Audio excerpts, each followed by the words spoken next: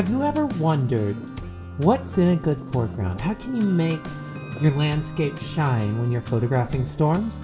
Well, hey, today's your day, and this is your video. Let's go. Hey everyone, it's Sander, and today we're going to be taking a look at how to get good foregrounds for your storm videos. This is a user suggestion from social media.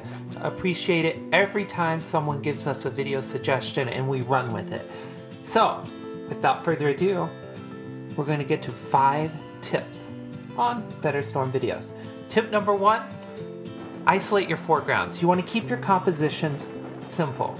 This seems easier said than done, but just think about it for a second. Work with me.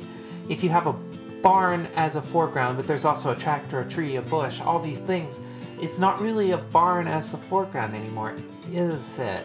So you want to make sure that you keep your composition simple. Don't put too many distracting elements into a shot with a storm, because if you do, what are you actually taking a picture of? It looks like you're taking a picture of everything, and that's not a good thing to be doing. So always be thinking through your compositions as you're shooting and isolating your foregrounds, just the foreground element. Try to keep it to one or two things max. Anything more than that, and people are going to start assuming this is a picture of that and not the storm. Or vice versa, it's just going to get too busy and you're not going to know what you're doing. Tip two, again, one idea at a time, one thing at a time. Don't go crazy with this. We already covered it a little bit just now, but to break the rule a little bit, here's a great shot. This is a Main Street scene. You're looking down Main Street at this storm. There's a lot more than just one thing here, but there's one idea at, in play with the road being the leading line toward the storm in the town. So I consider all this, this whole town Main Street scene one element, and that is your one idea. So you can break that one thing or one or two things rule, but make it about an idea and don't introduce so many elements. Tip three, take your time. No, seriously, this is super important.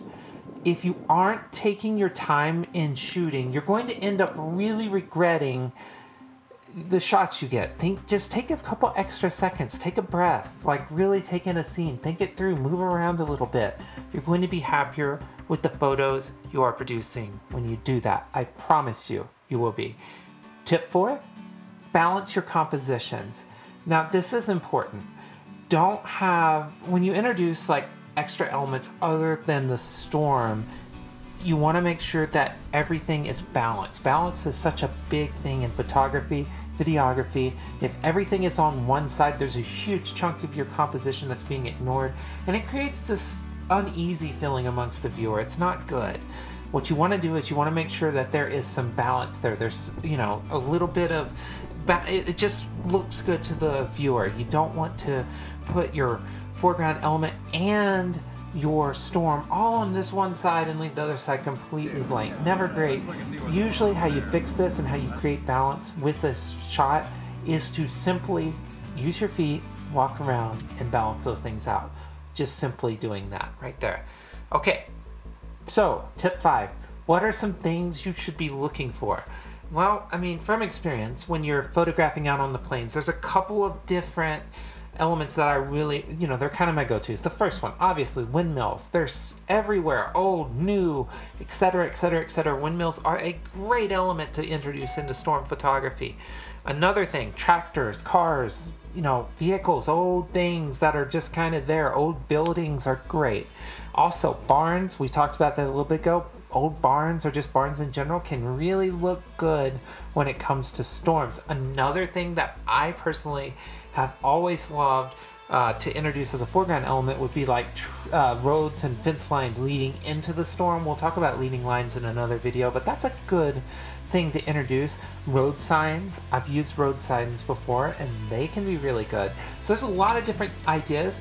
The big thing is you want to make sure that if you do use foreground elements, they're isolated and they're, you know, they, they kind of stand out in the scene and they're not part of a bigger batch of clutter.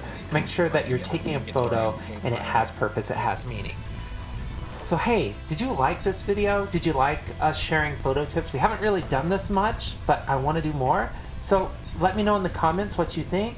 Let me know if you have any questions. We'd love to answer them. And finally, a bonus tip before we get out of here never assume there's a better foreground down the road unless you know there is because you're always going to regret that decision. Hey, like and subscribe to us. We'll see you next time.